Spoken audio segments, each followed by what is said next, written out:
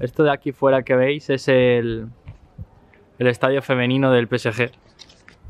Porque iba andando y tenía una trapa abierta, lo que pasa es que había como rejitas dentro y no lo podía grabar porque no se enfocaban las rejitas, no lo de dentro. Y estaba jugando las chicas de, del PSG. Pues ya estamos llegando al estadio del Paris Saint Germain, del PSG, y tengo muchísimas ganas de verlo y descubrirlo junto a todas vosotras y vosotros. Me muero de ganas, de verdad. Ya estoy viendo el exterior y me parece impresionante. Aquí os dejo el precio que sale en las pantallas. Los adultos pagan 27,50, los niños 17,50 y los jubilados 17,50. Con audioguía 5 euros más.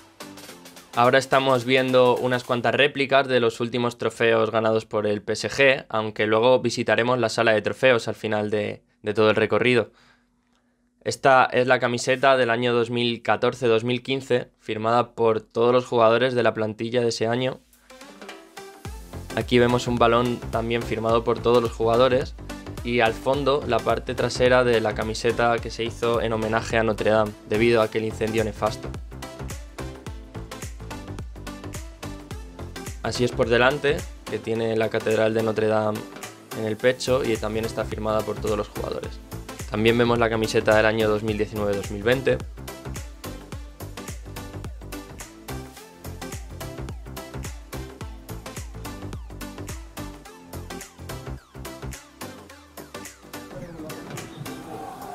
Esta es la zona de los VIPs. Aquí se pueden ver el fútbol en las pantallas mientras se toman un copazo y comen unos jaspitos y si no, pues salen aquí. Que no está mal, ¿eh?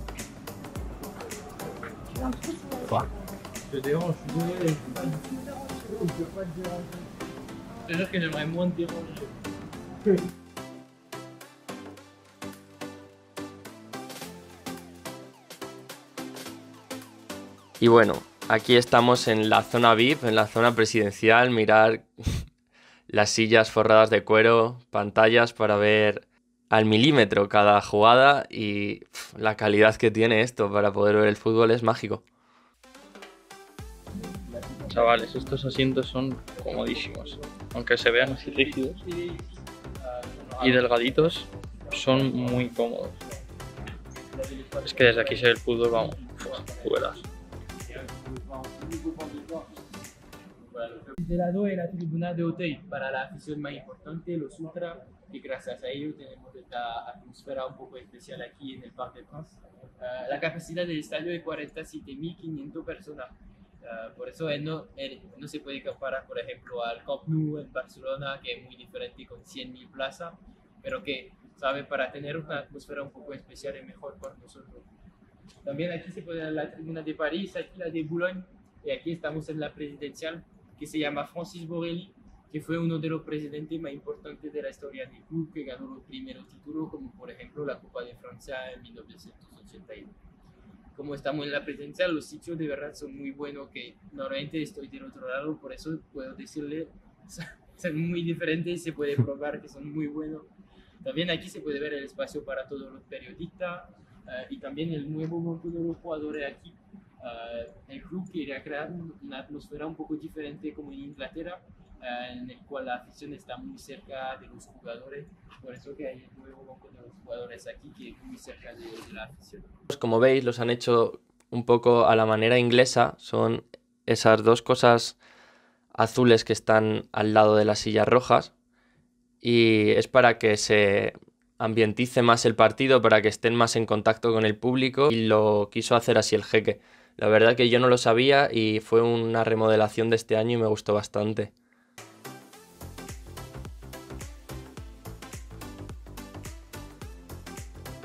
Pues esto chicos es como el lugar es como el lugar privado de los sponsors del, del equipo los que ponen el dinero aparte del jefe Euh, voilà, il a la possibilité de renégocier ses contrats, voilà, plein, plein d'accès. Les autres Maria, Cavani, Marquinhos, Thiago Silva vont avoir des mais de l'autre côté. Dans cet ajout, c'est le seul qui en a. Vous pouvez prendre des photos juste à l'entrée. Euh, je vais juste vous demander de ne pas rentrer dans la salle, mais voilà, vous pouvez prendre Este es el VIP de McDonald's. Porque es el único jugador que tiene una sala privada aquí. En el pasado Neymar tenía, tenía una del otro lado, pero por las razones que quizás sabéis que ahora quiere irse del PSG, que quiere ir, volver al Barcelona, todas esas cosas. Ahora el único que tiene una sala privada aquí es para la Fundación Kylian Mbappé. Ah, desde el lado se puede ver la sala privada también de Marquinhos, Thiago Silva, Di María, Cavani, todos esos jugadores van a tener sala privada, pero del otro lado, en esta avenida, el único es para Kylian Mbappé. Se puede hacer toda la foto, la única cosa es que no se puede entrar, por favor. Uh, it's really complicated because I don't know which club can pay.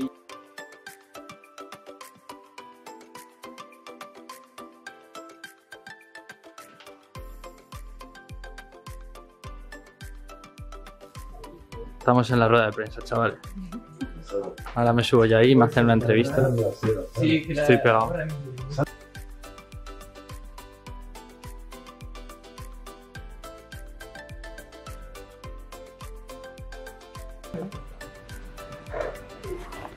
Mismo. Mon petit plaisir.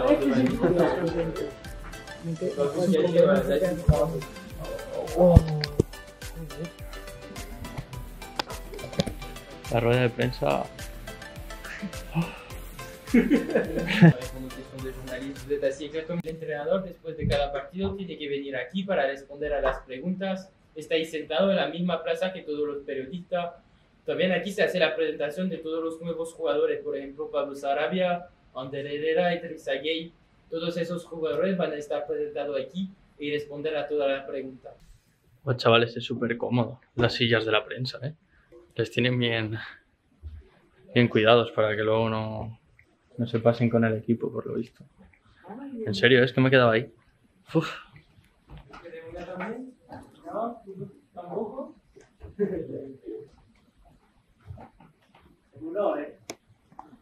Mira, el nuevo Chicharito Hernández. Se sabe que necesitamos de un nuevo Neymar, por eso si puedes estar tú. Tampoco me con Edison Cavani, con toda la gente. ¿no? Eh, Un grande, un grande.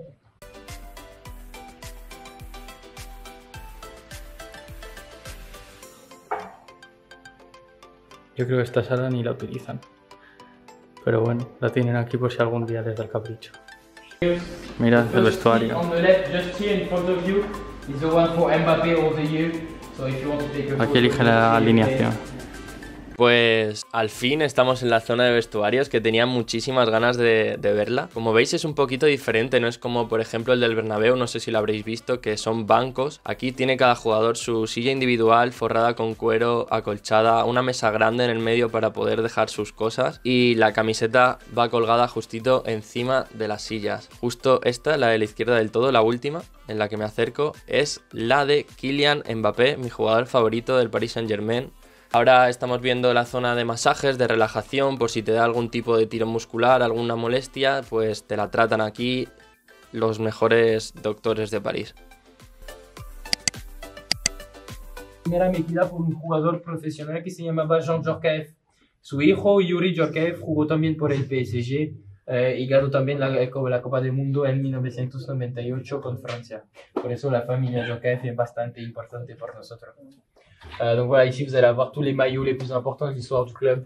Le premier mis par un joueur professionnel, euh, Jean Djorkaeff, son fils Yuri, qui a gagné la Coupe du Monde, qui a joué aussi pour le PSG. Donc voilà, vous avez tous les maillots les plus importants de l'histoire du Paris Saint-Germain. Seat. sí. Todo el español en pasar aquí no sea. Sí, sí. Ah, y aquí también. sí.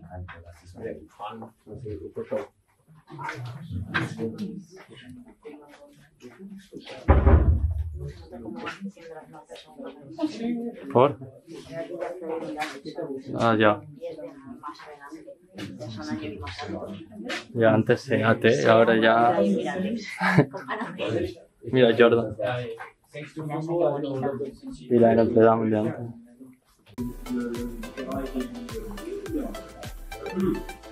Merci.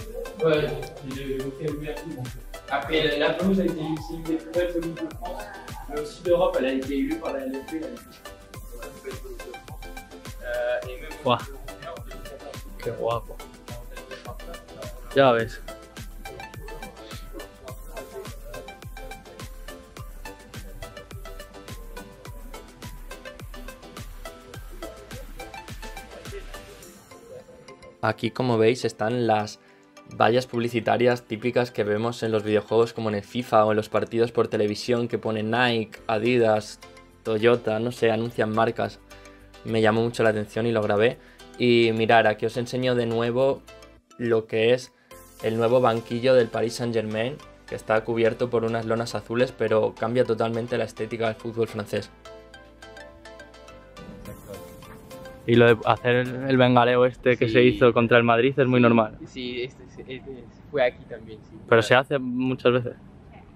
Sí, a veces sí, porque en Francia eh, la cosa es que no queremos eso, la, la, la liga de, de Francia, siempre cuando hay algo como eso, dicen que lo, lo- la afición está suspendida. Ah, le que no sancionan. pueden- sí, por eso, que no pueden venir después por el próximo partido.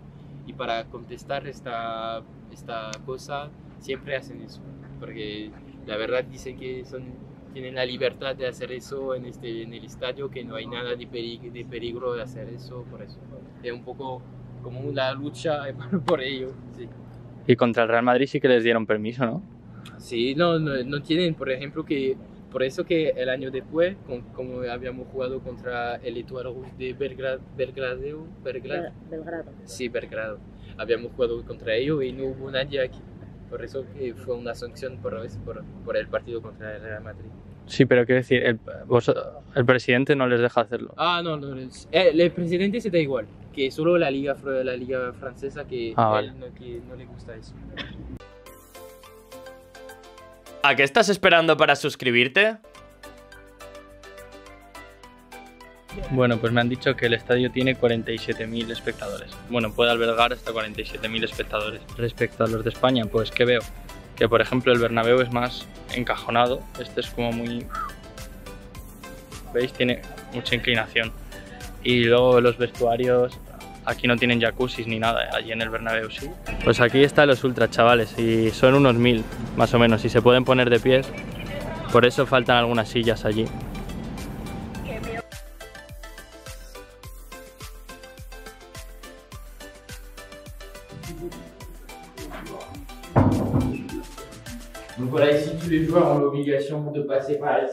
Esta es la zona mixta, chavales. El matadero, aquí cuando pierden, les obligan a, pasar. Y están aquí los periodistas. Neymar, ¿vas a seguir? ¿Vas a seguir aquí en el Paris Saint Germain? ¿Quieres ir al Barcelona, Neymar?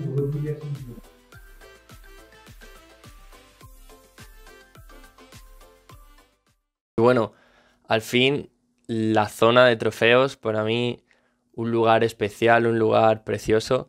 Recordemos que el PSG se formó en 1970 tras la fusión del Paris Football Club y el Stade Saint-Germainais. Los trofeos del Paris Saint-Germain son 8 veces campeón de Francia, 12 veces campeón de la French Cup Winner, Copa de Francia, 8 veces campeón de la Liga de Francia y tiene una Recopa de Europa, la conquistó en la temporada 95-96. Recordemos que de las 8 últimas ligas que consiguió, 6 fueron de manera casi consecutiva, exceptuando la del año 2016-2017 y empezando en el año 2013.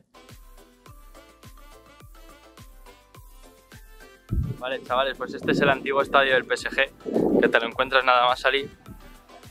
Que yo antes vi jugar a unas chicas al fútbol y dije, joder, pues era el femenino. Pues no, el femenino está más a las afueras. Y vamos a entrar ahora a la tienda del PSG y vamos a ver los precios y qué tiene. Que tiene pinta de ser bastante curioso el asunto. Al fin llegamos a la zona comercial del Paris Saint Germain, a la tienda que estaba en el exterior. Y vamos a ver los precios, vamos a ver los precios porque me parece que no tiene desperdicio. La camiseta roja no viene el precio. Y digo, pues vamos a ver la normal. Ahí está. 165 euros. Una camiseta de manga corta del Paris Saint Germain. Lo que me parece un escándalo, la verdad.